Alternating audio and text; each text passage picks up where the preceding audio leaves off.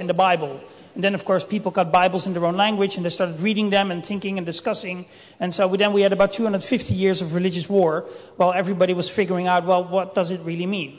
But in the process, lots of other books were printed as well. And so uh, in 1648, we got some peace back and the beginning of the sort of the modern Europe of modern states. And you can see that Germany has been, uh, had a pretty bad time in its religious wars. That's pretty much gone. But you can see there the beginnings of the modern Europe already coming about. So spreading knowledge, we've been doing it for a while. Of course, before 1440, we did it through other means, but that was very slow. The book accelerated it uh, 10,000 fold. But since the late 60s, of course, we've been doing the next revolution where we take computers and we connect them to each other. We now have several billion over the planet. Half of them are mobile phones. And they're all connected together. The price has gone so low that everybody has one or, or several. Even in a country like Brazil, there are 100 million plus mobile phone users now. So it's going very fast. And I think this revolution will be as fundamental as the last revolution of 500 years ago. Except it won't take 500 years for the revolution to play out. It's going to, going to take maybe 50 or 60 years, and half of them are gone. So we are going to see more change because of this in the next 30 years than we saw over the last 500 in our societies. Again, that's how fundamental it is. Now, computers have been evolving at um, uh, a geometric rate for over a century. And this is sort of a, a one slide picture. You can see it. How much computing power you get for an amount of money. Um, it's still going up, and a, crisis or no crisis makes no difference. And it means that computers now do everything. So we go shopping through our computer, we do banking through our computer, which can be a bit tricky, but you can do it. Um, we get our music through our computers. Of course, if you're a hacker, you get your music by this channel. Um, Computers now predict who is going to win a sports competition. They can drive cars autonomously, even in uh, you know cities. Um, there's lots of things can do. We now have 3D printers run by cheap computers that can not only replicate themselves but also produce all kinds of great things. Um, there are some uh, demos of that uh, at HAR right here. So computers aren't just typewriters, which is the old view, certainly within government, that people had. You know, a PC is just a typewriter, except it's a bit easier. It's much, much more fundamental than that.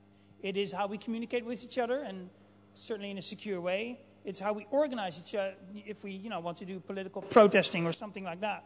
We want to change something. They run effectively our factory and our entire industrial economy is dependent on computers and software. And of course, there are still some countries where people actually vote on computers, not in this country, luckily. But there is still one computer involved, even in the Dutch voting system, which is one central system that tabulates all the other analog paper um, uh, votes at the, end of the, at the end of the evening. I'll get back to this later in the talk. And of course, the computers are the new printing presses. So now we all have our own printing press, and we all have blogs and Twitter accounts, and we can all talk to the world, and then the world can talk back to us. So, if the computers are the printing presses, and we want freedom of the press, then it's important that not one or two companies own all the presses or own the software that makes the press do something we need some diversity there. So in other media, for instance, television in, in Europe, uh, no single company or entity can own more than 30% in a country. So, for instance, in the Netherlands, you know, a, a single commercial entity cannot own more than 30% of all the television channels. And we think it's good to have that diversity so we have many voices and keep our democracy going. Now, of course, in software land, this is not the case at all. Um, not only do we have enormous concentration of power, and but you also get all kinds of funny rules that come with the software. This is an example of a software license from Microsoft FrontPage, which you may remember as a program you use to make really crappy web pages. Um, but basically, it says we're going to sell you the software, and then we're going to say what you can and cannot do with it. So it's like buying a pen, and then it has a little sticker on the box that says, you know, you cannot write negative things about the Parker Corporation with this pen. I mean, would you buy such a pen? Would you even, you know, take that seriously? Well, this is what in the license, and I dare anyone to you know, pick a legal fight with Microsoft. You need seriously deep pockets and have a lot of lawyers. So there are many reasons to want um, a different way of how we do software and who controls software, who builds it, getting the diversity. These are some of the reasons, and you sort of you can pick one you like, uh, depending on you know where you're coming from and what your sort of political background is. Uh, I'll, I'll go over some of you for my participation in, the, in this whole thing uh, started with this. This is a screenshot I made on January 1st, 2002, when I tried to uh, go to the website of the National Railway uh, to uh, plan a train trip, as I do often. And instead of uh, showing me the planner, it showed me this. And it says, You don't have Internet Explorer. This site only works with Internet Explorer. Go here to download Internet Explorer. And there I was sitting on my ThinkPad with Red Hat 5 point something, for which there is no Internet Explorer. So, I mean, the Dutch Railway is, you know, it's still state owned nominally. Uh, so it's, it's more or less a public utility, and it was telling me, unless you buy Microsoft Windows, we, you know, you can't come in. You're not welcome here. So I was quite, uh, quite uh, pissed about that. So I wrote a very angry email to um, some, uh, uh, some people from the National Railway. But then I thought, well, you know, the webmasters, he probably can't help it either. So let me um, uh, copy in some people. So I copied in um, people from, from Parliament, people from the Ministry of Transport, and some journalists. And I stopped at about 50 because then it becomes spam. And I got a mail back from the railway uh, that says, uh, okay, well, you know, we heard your complaint and we have had a lot of complaints. We're going to do something about it. And two weeks later, they had a new site that didn't have any of these problems. But I also got a mail back from um, a member of parliament from the Greens Party. And that mail became a conversation and a series of conversation over a series of months.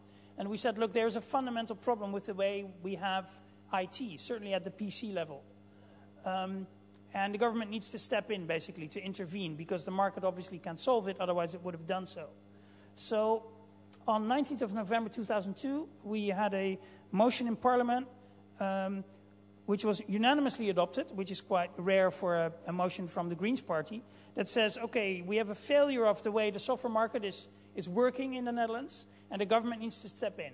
And one of the ways the government can do that is to use open source and open standards as much as possible itself, since it's one of the biggest software players.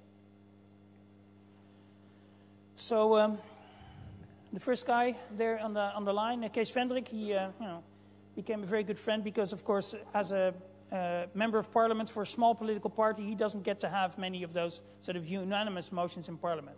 So um, now, of course, I had his mobile number and I could, you know, point him in certain directions and help him out with things. Um, so I kept feeding him and other people information, and the sort of item advanced on the political agenda very, very slowly. Um, and so you need to draw in people from other political parties, and they will have other things they will listen to. So this is sort of my experience on uh, different Dutch political parties. Uh, so this is from left to right on the political spectrum, which still tells you something. Um, and it tells you some of the issues that might be, um, might be good for that party. So lower cost, everybody loves lower cost. Lower cost is always good, if you can prove it, of course, which can be difficult. Social inclusion, transparency, those kinds of things tend to be sort of more leftish uh, issues. And of course, local business, national security tend to be more uh, to the right. But um, lots of things can uh, work everywhere. I mean, things like, you know, proper functioning of the market, everybody is nominally in favor of that. But uh, when it comes to big business, certain political parties like to support them too. Um, so this is uh, the Netherlands. Your local mileage may vary in other countries, but it works like this basically. So in 2003, some few things happened, but not a lot. But in 2004, we got a bit of uh, movement on the, in the dossier when the government tried to buy 150 million euros worth of software without going through the proper you know, procedure of buying software if you're a European government and you want to spend public money, there is a process that you need to document. If you want to spend more than, I think, 150,000 euros, for instance, on software, you need to document, you know, why you choose that software and not the other one and things like that. And um, the government didn't do that, but they were